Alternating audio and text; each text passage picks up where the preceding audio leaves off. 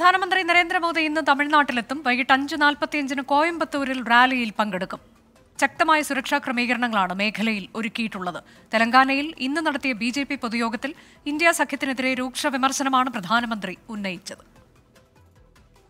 തെലങ്കാനയിലെ ജഗ്ത്യാലിയിലായിരുന്നു ആദ്യ റോഡ് ഷോയും പൊതുസമ്മേളനവും. ശക്തിക്കെതിരായ പോരാട്ടമാണ് ഇന്ത്യ സഖ്യം നടത്തുന്നതെന്നും എല്ലാ സ്ത്രീകളെയും ശക്തി സ്വരൂപത്തിൽ കണ്ട് ആരാധിക്കുന്നവനാണ് താനെന്നും പ്രധാനമന്ത്രി തെലങ്കാനയിൽ പറഞ്ഞു. കോയമ്പത്തൂരിൽ മേട്ടുപാളയം റോഡ് മുതൽ ആർ എസ് പുരം വരെയുള്ള നാല് കിലോമീറ്ററാണ് ഇന്ന് വൈകിട്ട് റോഡ് ഷോ. ഉച്ചയ്ക്ക് പന്ത്രണ്ട് മണി മുതൽ ഈ റോഡിലൂടെയുള്ള ഗതാഗതം നിരോധിച്ചു. അയ്യായിരത്തിലധികം പോലീസുകാരെയാണ് സുരക്ഷയ്ക്കായി നിയോഗിച്ചിട്ടുള്ളത്. റാലിക്ക് ആദ്യം പോലീസ് അനുമതി നിഷേധിച്ചിരുന്നു. ബി ജെ പിയുടെ ഹർജിയിൽ മദ്രാസ് ഹൈക്കോടതിയാണ് റാലിക്ക് അനുമതി നൽകിയത്. ട്വന്റി ചെന്നൈ.